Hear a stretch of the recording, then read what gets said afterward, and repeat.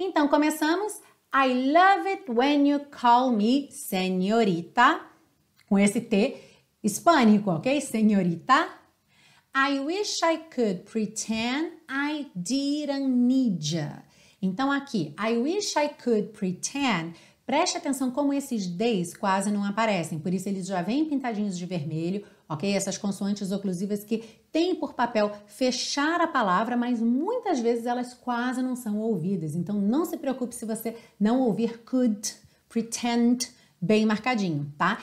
E lembra, nunca, nunca diga could, pretend, ok? Que a gente tem muita tendência aí, dependendo de que região do Brasil você é, tem essa tendência de colocar uma vogal depois dessa consoante, certo? Então a gente fala pretend, could. Não faça isso, tá? Pense como um sinal vermelho. Could, para no D. Pretend, para no D, ok? Mas lembra que pode ser que você ouça muito pouco ou quase nada. Could, could, pretend pretend. E na hora da fala rápida ou do canto rápido, você acaba não ouvindo quase nada mesmo, ok?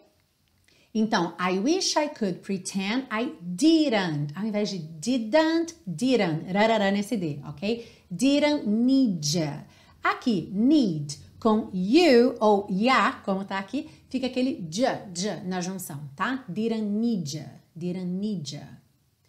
But every touch is ooh la la la. Então, rarará no but, tá? But every, every. Esse é do meio não aparece, tá? Então não é every, every, every. But every touch is ooh la la la. It's true, la la la.